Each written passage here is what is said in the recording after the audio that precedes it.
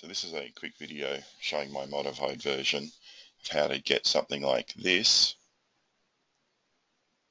in SOLIDWORKS from three views like these. Uh, there are tutorials on YouTube already. This is a modification to how those ones are done. So I'm going to skip over some of the more obvious things and just show the differences.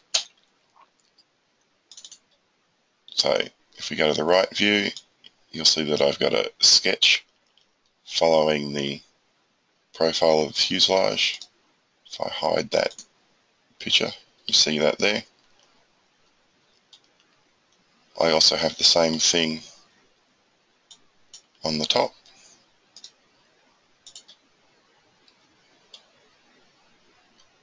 So the idea of this is you add sketches along the length of the fuselage and then you will then loft those to produce this. But in the tutorials it doesn't really cover in any nice way how to deal with the fact that this top sketch diverges from where it should be on the right sketch. So the way I resolve that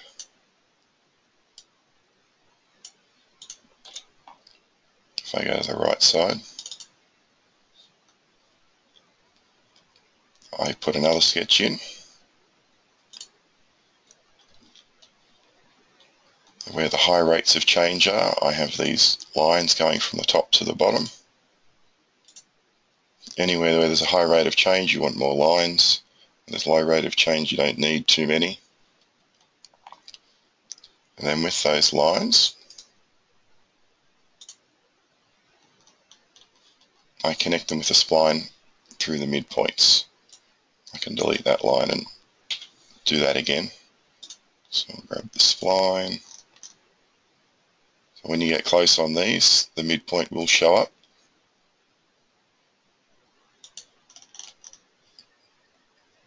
So it doesn't have to be in the midpoint between the top and the bottom. It will depend on the fuselage of the plane. But you'd be aiming to put it where it, the fuselage is its widest to get the best results. There's the midpoint. So on most round sort of fuselages, that's going to be the middle.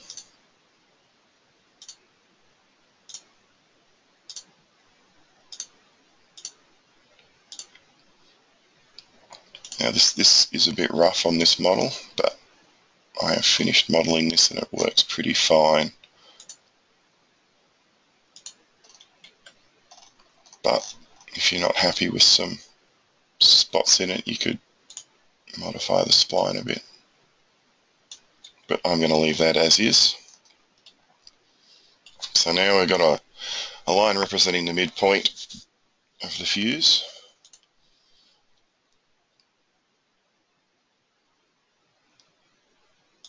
So what we're going to do because ideally we want four points around where there should be. What I'm going to do is I'm going to extrude that into a surface. Where are we?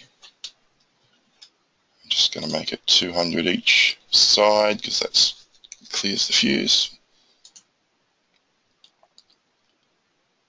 So now in addition to the two sketches, we have this plane through the middle. What comes next is I will pick that top sketch. I'll pick it here as the trim tool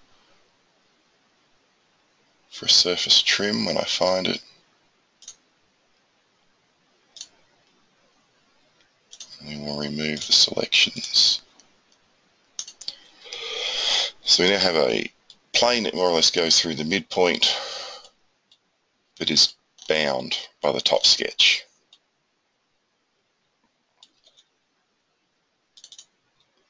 I'm actually going to do the same thing again to get a vertical plane happening here.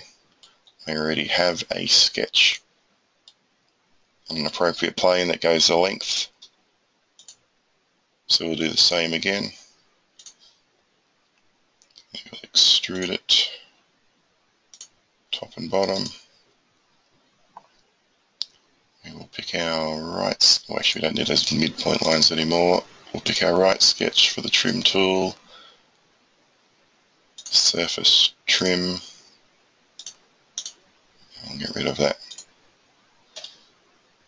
So we now have two surfaces perpendicular to each other and pretty well fill in the, the meaty parts of the fuselage structure. So it meets up nicely here at the tail.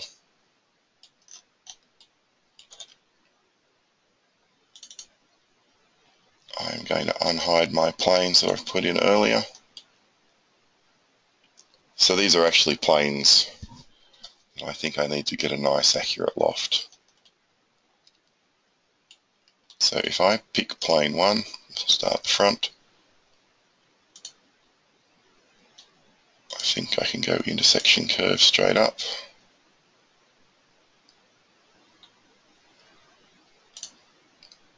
And I want do my two planes.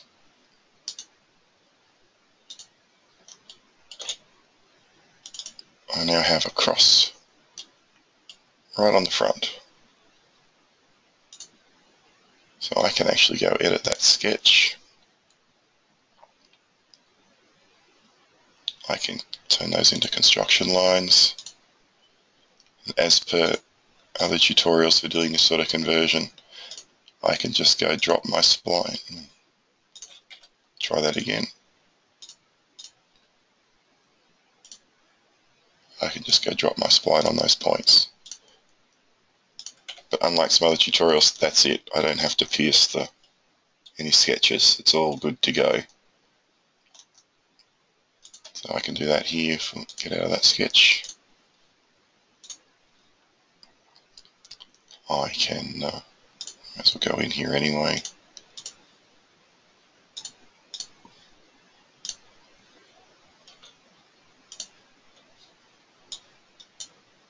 Convert those to construction lines to get them out of the way.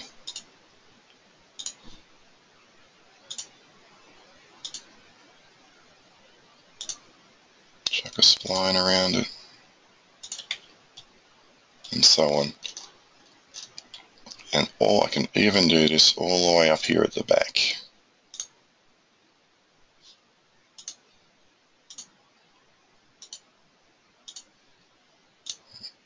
intersection with those.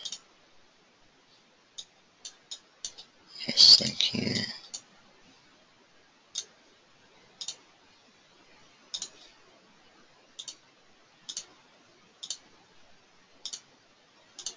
Oops, missed that.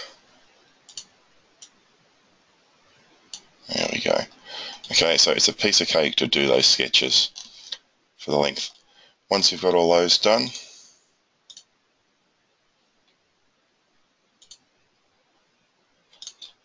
you can do a full loft.